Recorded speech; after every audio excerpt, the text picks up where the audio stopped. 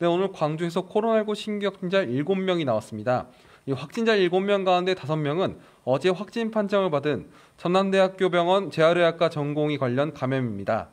이 가운데 2명은 전남대병원 의사로 어제 확진된 광주 1049번째 확진자의 배우자와 동료입니다. 또 오늘 확진된 전남대병원 의사의 가족 3명도 조금 전에 확진 판정을 받았습니다. 이 방역당국은 확진된 전남대병원 의사의 가족 중 한 명도 나주에서 근무하는 의사이며 지난 22일부터 증상이 나타- 나타났다고 밝혔는데요. 이 확진자로부터 감염이 시작된 것에 무게를 두고 역학조사를 진행하고 있습니다. 이 전남대병원은 지- 이미 지난달 13일에 신경외과 전공의 한 명이 확진돼 의료진과 환자 등 연쇄 감염으로 동일 집단 격리에 들어가기도 했는데요. 이 방역 당국은 현재 위험도 평가를 진행하고 있지만 확진자들이 근무한 재활의학과가 외래 진료가 대부분이어서 일단 동일 집단 격리는 고려하지 않고 있습니다. 네, 다만 이번 환자 중 재활 치료를 받은 사람이 있는지 조사 중인데요. 이 결과에 따라 동일 집단 격리 여부가 최종 결정될 것으로 보입니다.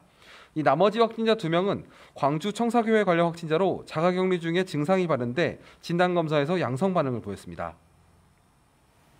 네, 손 기자, 전남은 상황이 어떻습니까? 네, 전남에서도 오늘 신규 확진자 두 명이 더 나왔습니다.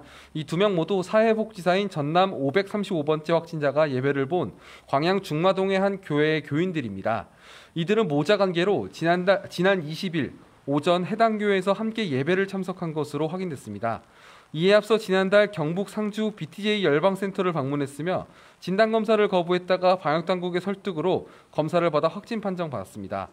방역당국은 이들에 대해 진단검사를 거부하는 등 감염병 예방법 위반 혐의로 검- 경찰에 고발할 방침입니다.